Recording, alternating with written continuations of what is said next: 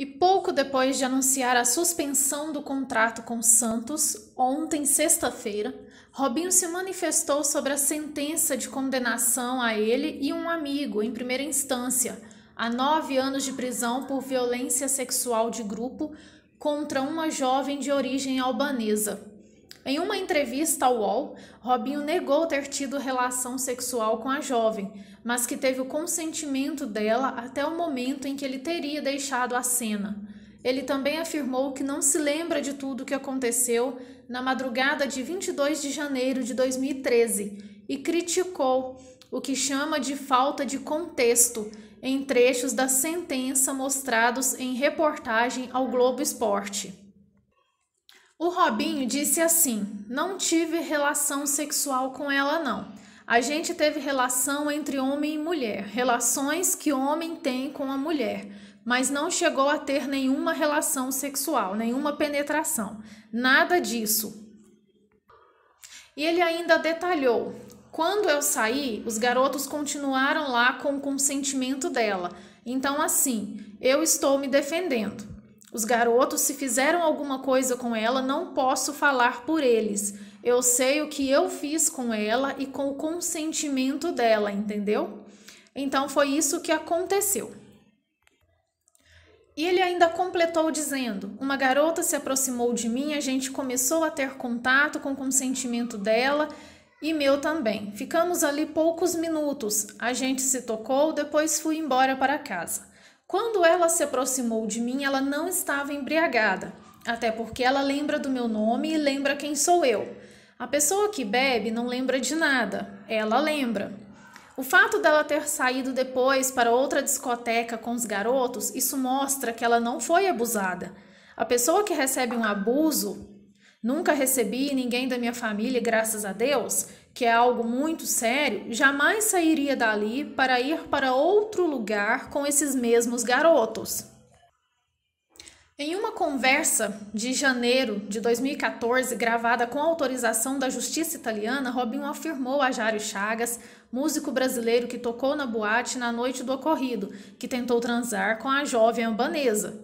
Ao ser contestado sobre ter praticado sexo oral, Robinho rebateu: isso não significa transar.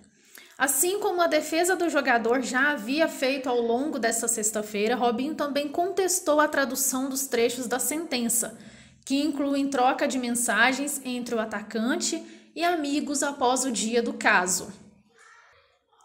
E então o Robinho disse: eles traduziram muita coisa fora de contexto. Na verdade, isso faz muito tempo. Em conversas de WhatsApp, a gente fala, mas nunca falta com respeito, por desrespeitar as mulheres. Eles, fala, eles falaram que homens conversam entre si, que teve a relação sexual com a mulher, com o consentimento dela, porque ela quis exatamente isso. Tem coisas que eu nem lembro. Eu tenho certeza que jamais dei um copo de bebida para ela. Não posso responder pelos meus amigos. E o Robinho também criticou o movimento feminista. Ele disse assim: infelizmente existe esse movimento feminista. Muitas mulheres, às vezes, não são nem mulheres para falar o português claro e se levantam contra, contra porque coisas de homens.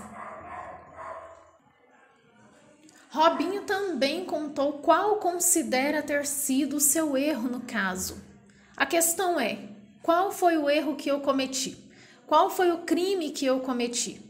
O erro foi não ter sido fiel à minha esposa. Não cometi nenhum erro de estrupar alguém, de abusar de alguma garota ou sair com ela sem o consentimento dela. A decisão do Tribunal de Milão de novembro de 2017 ainda não é definitiva e foi contestada pelas defesas do jogador do Santos e de Ricardo Falco, o outro acusado brasileiro no crime. Os advogados dos dois apresentaram recursos. A Corte de Apelo de Milão vai iniciar a análise do processo em segunda instância no dia 10 de dezembro.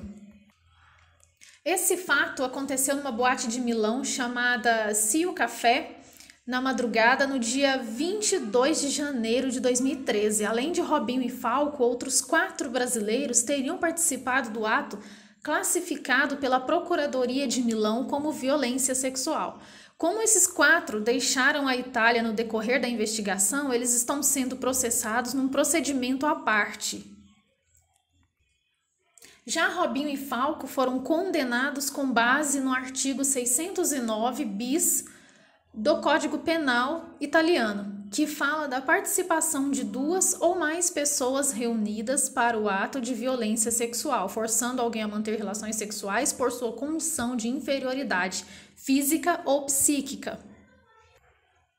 E ao ser interrogado em abril de 2014, Robinho negou a acusação. Ele admitiu que manteve relação sexual com a vítima, mas disse que foi uma relação consensual de sexo oral e sem outros envolvidos. No caso de Ricardo Falco, a perícia realizada por determinação da Justiça identificou a presença de seu sêmen nas roupas da jovem.